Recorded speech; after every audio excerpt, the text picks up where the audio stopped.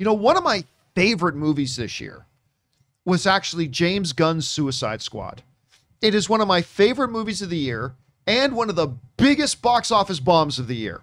So It sad. was so did not get what deserved. Of course, one of the main culprits is, of course, the fact that HBO it was aired on HBO Max the same day it was released in theaters. That certainly didn't help it, but it was also rated R, and the trailers was clearly not. It wasn't going to be a movie that's for everybody. I love the movie. I thought it was absolutely fantastic, and I thought it was quintessential James Gunn.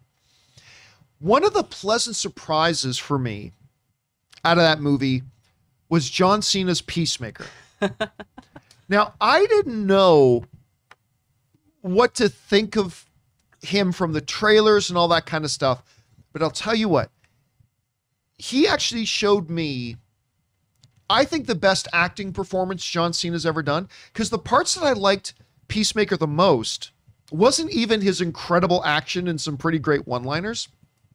It was closer to the end of the film without giving anything away. It was closer to the end of the film when he's actually struggling and he's getting kind of emotional. Like even when he's talking to Rick Flag and he's like, "Man, don't don't make me do this." Like it's just there was something in that performance that he was showing us, John Cena was showing us stuff that I don't think he was capable of giving us before.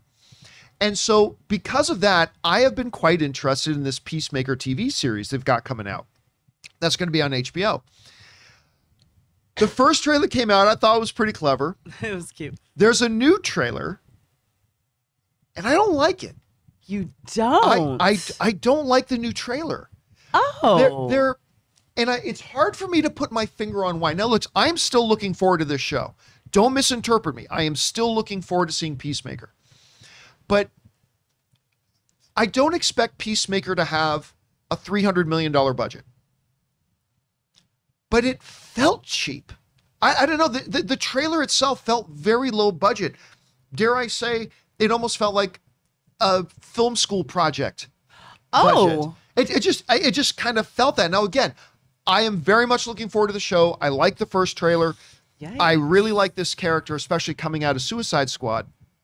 But I wasn't feeling this trailer. Per- Just being honest. Just being honest. Hey, hey, as man. much as I love James Gunn, and I'm sure the show's going to be great, That's how but you feel. the trailer is different, and I, I just wasn't feeling the trailer. You just saw the trailer for the first time this morning, as did the rest of us. Yeah. What do you think about it?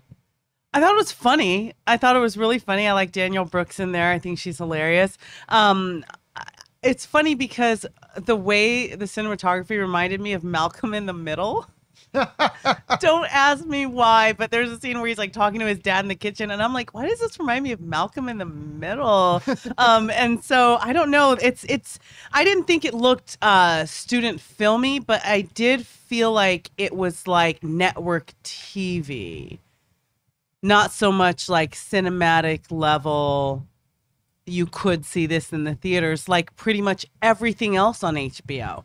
Everything Right. else on HBO has a great quality to it. So there was this network sitcom feel not to the content but the look. So I kind of feel you there, but I I I thought it looked funny. I thought it looked interesting. I didn't think it was like student like film level. I didn't Uh, that's I- re- I- I did, That's yeah, really I- how you felt. Oh man. So again, again, we'll see. We'll see. Like I said, I like the first one. I am look. I will always give James Gunn the benefit of the doubt. And remember, this is the trailer. James Gunn didn't make the trailer, so I'm I'm still excited for the show. I'm just saying, just being honest, that the trailer this one didn't work for me. Anyway, question is for you guys. Did you have a chance to see the new Peacemaker trailer? Maybe you loved it. Maybe you thought it was okay. Maybe you didn't like it so much. Whatever you guys are feeling about it, jump down into the comment section below and leave us your thoughts.